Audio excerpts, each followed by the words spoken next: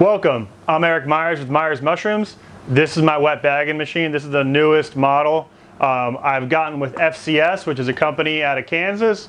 Uh, they're about two hours from me, and uh, they redesigned this thing so it looks and functions the same, but the way of manufacturing and all the parts is a lot better, a lot more refined.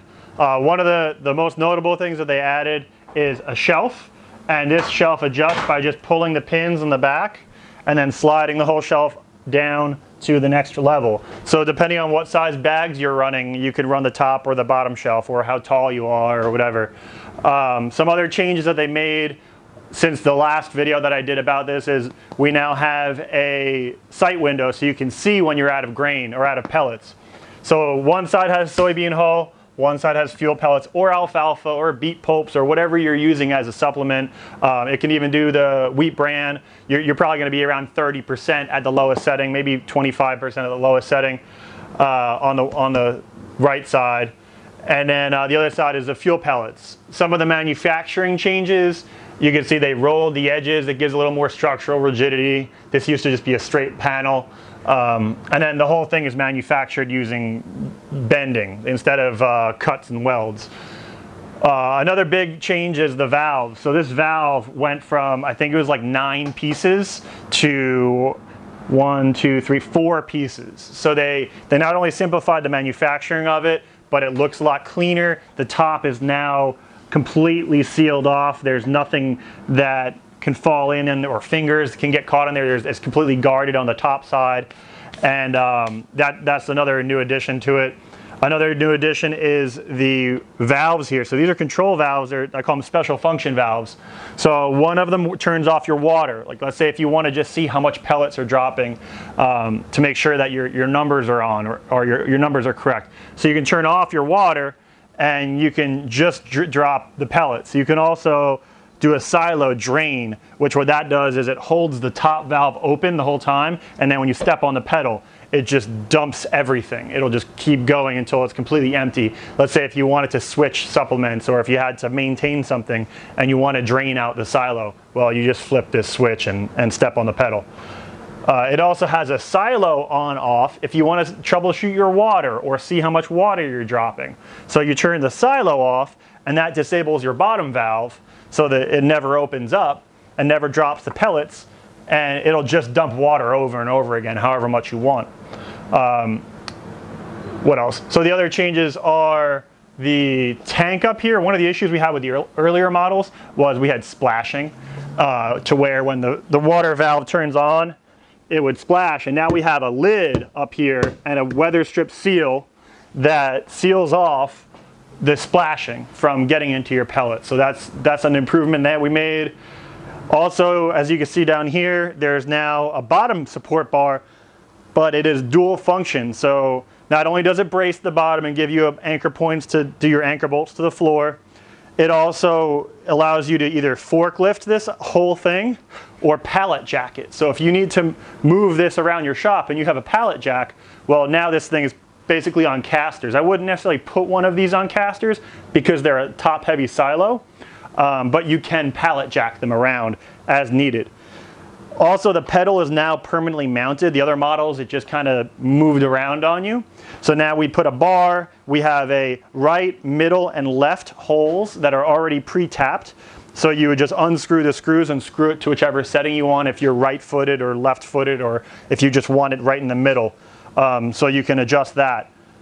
Um, the capacity of this is around 350 pounds per side, which puts you around 140 10 and a half pound bags per fill.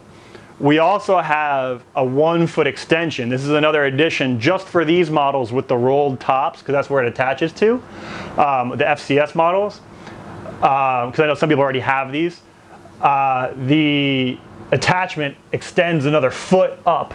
I'm not sure exactly how much that's going to add to it. I'm guessing at least another 100, maybe even 200 pounds per side. It should put the capacity per fill well above 200 bags per fill, which would compare this to around a two yard batch mixer when it comes to uh, fill capacity and how much you can bag out without having to stop. The one advantage of this over a batch mixer is you don't have to wait for your mix-in time. With a batch mixer, you got to load everything, let everything blend, and then dispense your water, which takes a long time. You know, talking hundreds of liters, and then waiting for all that moisture to even out. So with this, you don't have to do that at all. You just fill it up and go. Um, where you do have to wait a little bit is when you bag them out, and I'll go ahead and show you guys this thing working. When you bag it,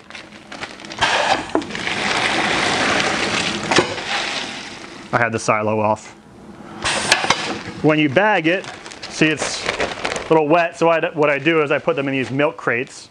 And what, how I do it is I do nine per layer. I, this is a drum, a sterilizer drum right here. I have a 110 uh, gallon Bubba's sterilizer drum. That's what this is the door to the cabinet.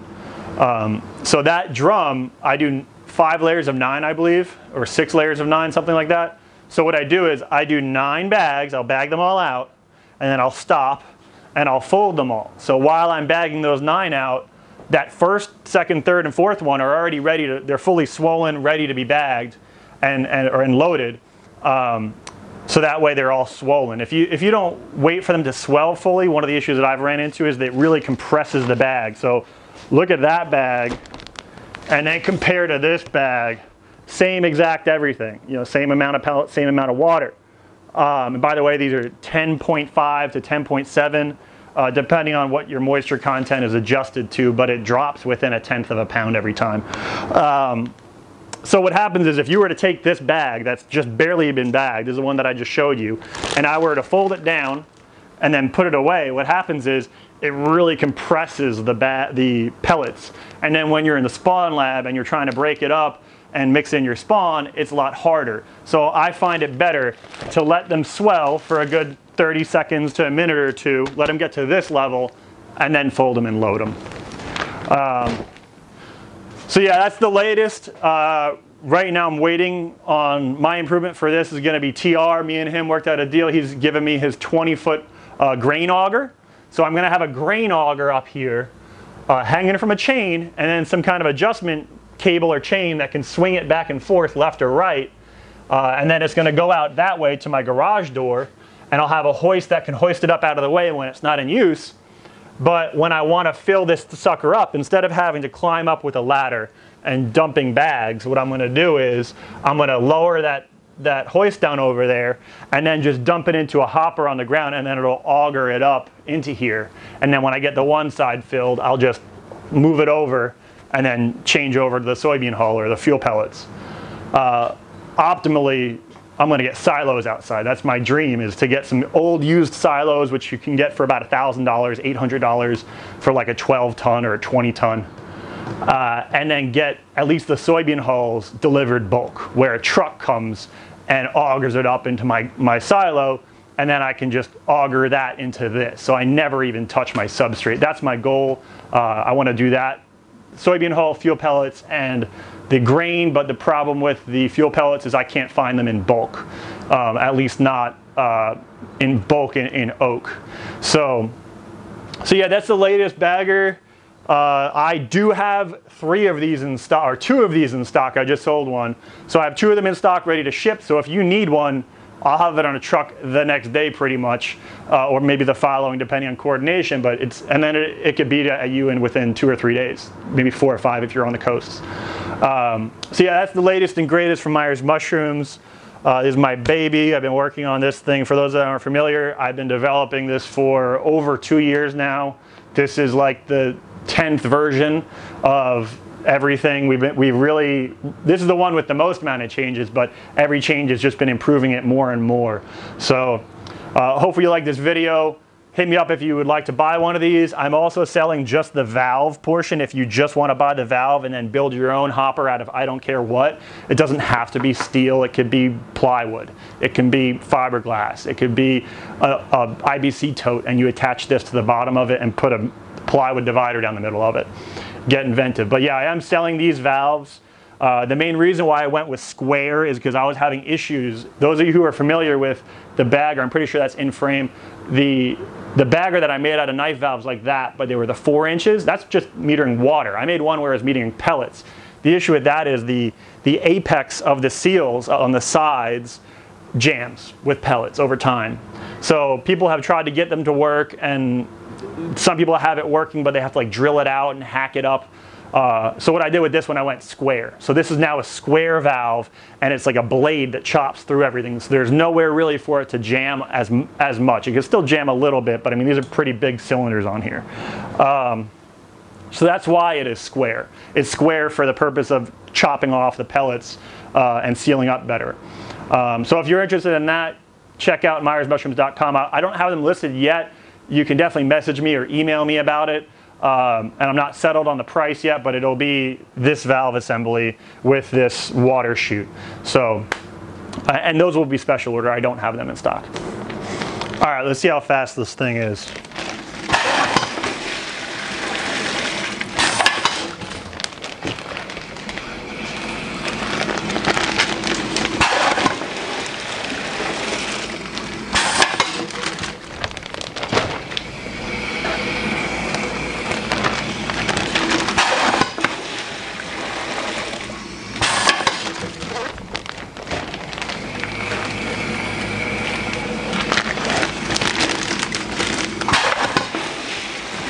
And so because of the water valve, the water tank is actually a float valve up there.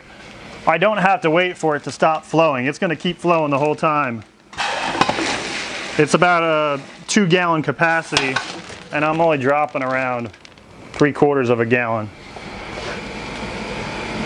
And you can hear the compressor, uh, you should be able to hear the compressor I think in the background. It's just a little pancake compressor, you don't need much. This thing doesn't use much air, it's just some pistons moving back and forth. A couple cubic inches of, of air every cycle.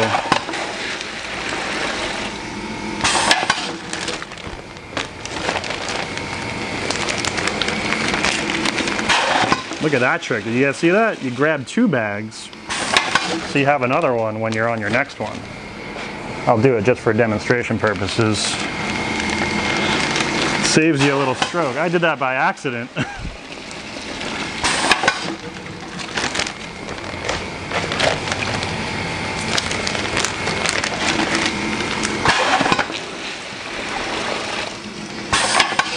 All right. Boom, 10 bags. Thank you so much for checking out this video. Make sure you give it a thumbs up, subscribe to my Patreon if you want to support my channel. Check out myersmushrooms.com to sh shop your mushroom equipment needs and your bag supplies. And uh, stay tuned for my spawn. I will have spawn very soon. So take it easy, keep on mushroom.